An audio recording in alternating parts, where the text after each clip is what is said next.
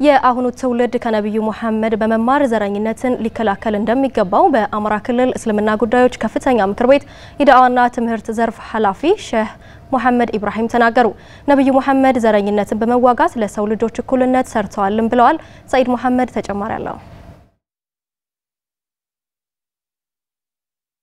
ነቢዩ መሐመድ ሰለላሁ ዐለይሂ ወሰለም በነቢይነት ተልከው ወደ መካ ከመምጣታቸው በፊት በአረቡ ዓለም ዘረኝነት ተስፋፍቶ ነበር። እሳቸው ደግሞ ዘረኝነትን አጥብቀው ስለሚቃወሙ ዘረኝነት እንዲጠፋ ከፍተኛ ስራ መስራታቸውን በአማራ ክልል እስልምና ጉዳዮች ከፍተኛ ምክር ቤት የዳዕዋና የትምህርት ዘርፍ ኃላፊ ሼህ መሐመድ ኢብራሂም ተናግረዋል። በመካ ያሉ ማህበረሰቦች ነቢዩ ሰለላሁ ዐለይሂ ወሰለም ከመምጣታቸው በስተፊት በዘር ይዋጉ ነበር።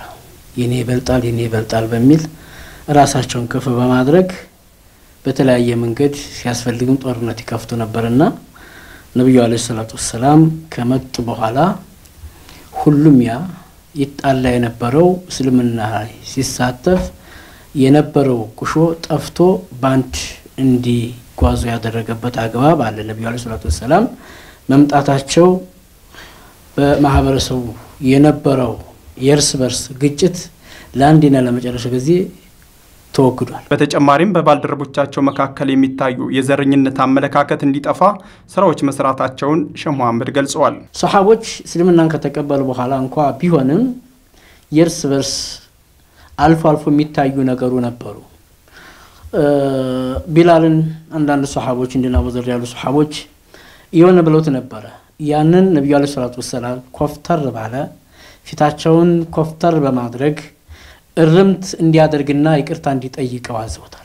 ከዕለታት አንድ ቀን ነቢዩ አለ ሰላቱ ወሰላም መዲና ከሄዱ በኋላ ሰሓቦች ከአንድ ወንዝ ላይ በቀልድ ነክ የሆነ ነገር ተጓሰሙና ያችን ምክንያት አድርገው ሙናፍቃኖች አሉ በመካከል ጠቡን አጓጓሩት። ሲያጓጉሩት ሙሃጅሮች ለብቻና ሰሓቦች ሙሃጅሮችና አንሷሮች ለብቻ ጉርብ ሲፈጥሩ ያችን ጉርብ ሙናፊኮች አጧጧፉና ከተማው ላይ አቀጣጠሏት። ጉዳዩ ከነብዩ ደረሰ። እኔ በህይወት እናንተ መካከል እያለሁ ዘረኝነትን ታውጃላችሁ አሉ። ኢናሃ ሙንቲና አሉ። እቺ ጥንብ ናት፣ እቺ ዘረኝነት ጥንብ ናት። ደዑሃ ወኢናሃ ሙንቲና ጥንብ ናት። እናንተም ብቻ አይደለም ሌላውንም ትከረፋለይ፣ ጠቧ ትሰፋለይ፣ አንድነት ታሳጣለይ፣ አብሮነትን ታሳጣለይ፣ የማንነት ምንነት ዝቅ ታደርጋለይ እና ጥንብን እንደምትልቁት ሁሉ ጥንብን እንደምትልቁ ዘረኝነት ተራራቁ ብለው የአላህ መላክተኛ ሰለላሁ ዐለይሂ ወሰለም ነግረውናል። ዘረኝነት በዘመናቸው በማጥፋት ተሳክቶላቸው እንደነበረም አስረድተዋል። ነቢዩ ያስተማሩት አስተምሮት አንዱ ዘረኝነትን፣ አግላይነትን፣ ጎጠኝነትን በመታገል ረገድ አንዱ የስራ ድርሻቸው ነበረ። በዚህም የተነሳ ተሳክቶላቸዋል። እሳቸው ባሉበት ዘረኝነት ጠፍታ ነበር። የዛሬውም ትውልድ ዘረኝነትን በመጸየፍ ልዩነት ሲኖርም በመመካከር ችግሮችን የመፍታት ልምድ ማዳበር እንዳለበትም መልእክት አስተላልፈዋል።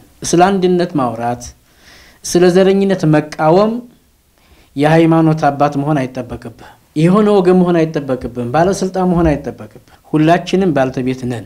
ለዚህ ነው ነቢዩ አለይሂ ሰላቱ ወሰላም በሕይወታቸው እያሉ አንዳንዴ ሰሓቦች ሲነጋገሩ ከአላህ ዘንዳ ትእዛዝ ይመጣባቸው አማክራቸው ይላቸዋል። አማክራቸው ወሻዊሩን ፊል አምር ፈኢዛ አዘምተ ፈተወከል አላላህ በጉዳዩ ተከታዮችህን አማክራቸው ከተመካከርክና ከወሰንክ በኋላ በጌታ ብቻ ተመካ ይላል።